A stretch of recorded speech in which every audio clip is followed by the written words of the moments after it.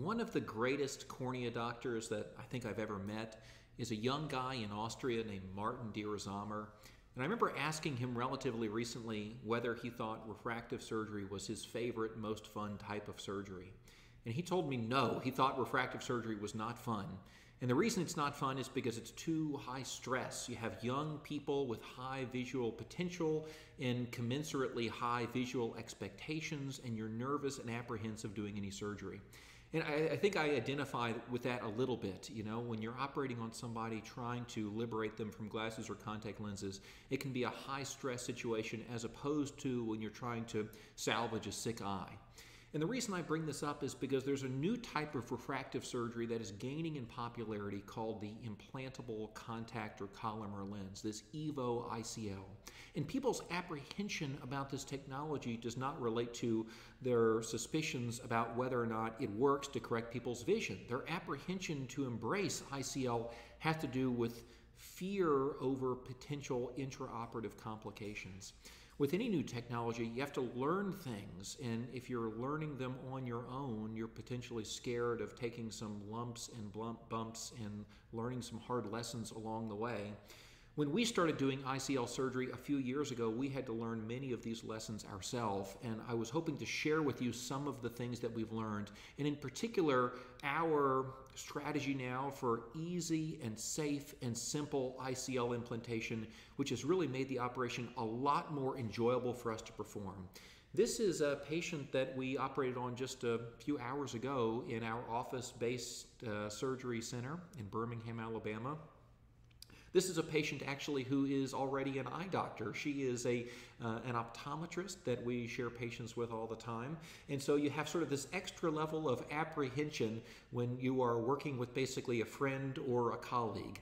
And you can see that the eye is moving around on the table and she herself is a little bit nervous before this case starts. And so uh, I'm going to walk you through how we do these operations to try to make the patient as comfortable uh, and the operation as safe as possible. The anesthesia is topical, so this is just topical lidocaine, and we're irrigating the surface of the eye with a BSS, which is um, admixed with a very dilute amount of betadine.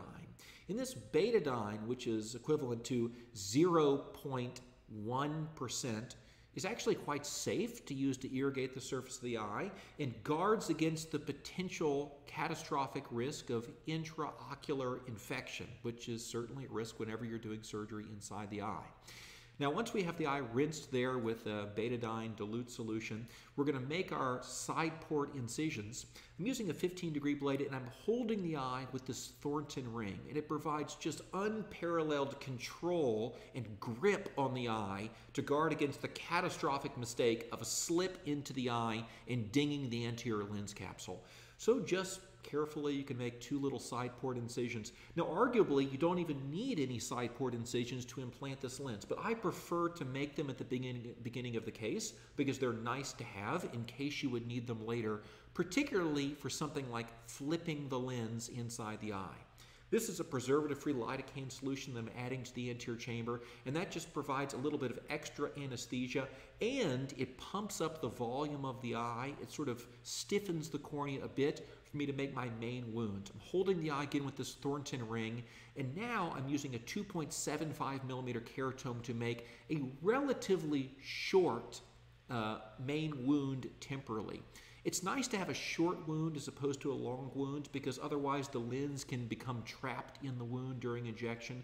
So it's nice to have a relatively small wound that doesn't impede unfolding of the ICL. I'm deepening the chamber and adding anesthesia there with extra lidocaine. And now it's time to inject the lens. And this is one real pearl that we have learned that I would recommend. You can inject the ICL into the eye without first putting viscoelastic to deepen the chamber. And I learned this actually from a video online by Dr. Matt Ward. I had overheard anecdotally that there are surgeons putting ICLs in the eye without viscoelastic first, but it was Dr. Ward's video actually that really showed me that this is possible. A huge advantage of injecting the lens without viscoelastic already in the eye is you don't then have viscoelastic behind the ICL that you have to remove. You know, the problem after the surgery is you have to worry about viscoelastic being retained in the anterior chamber behind the ICL. But if you don't inject any viscoelastic behind the ICL, you won't have to remove it. So you can see here, just by gripping the main wound with some tooth forceps and with a slow, controlled injection, the ICL just opens up in the anterior chamber fine. It's not crumped against the back of the cornea. It's not smushed along the anterior surface of the lens capsule. It goes in no problem. The chamber stability is excellent. And now we have the ICL in the anterior chamber without any viscoelastic. The next pearl is here. We're going to go through the main wound, and I'm going to put in some Pro-Visc, a cohesive viscoelastic, which I prefer to OcuCoat. And the reason is, is that I'm confident that I can get all of the Pro-Visc out of the eye very, very easily, whereas OcuCoat is quite difficult sometimes to remove every little last remnant. This is an olive tip manipulator that I'm using. It's uh, commonly available from Duckworth and Kent, among other companies. And again, I'm using the main wound, which is very easy. It's very stable. You don't have to worry about trying to finagle in through some paracentesis. Just to tuck first these proximal two haptics and then the distal haptics across the eye. And you'll notice that even though I'm using the main wound for all of these manipulations, the chamber stability is excellent. There's no risk of collapse. I'm not dinging the anterior capsule or the back of the cornea. And this is so much quicker and simpler and safer than trying to wiggle back and forth through these one millimeter side port incisions. So now I have three of the four and now four of the four of these haptics tucked of this ICL. And now I'm just nudging the lens into its final centered position. And at this point, all that really remains is to remove the viscoelastic from the eye. The way that I was trained to do this is with irrigating solutions with a cannula and a syringe. And certainly that's possible, but it's so much easier and quicker and safer and simpler to remove the viscoelastic from the eye like you would with a cataract surgery just with the IA handpiece.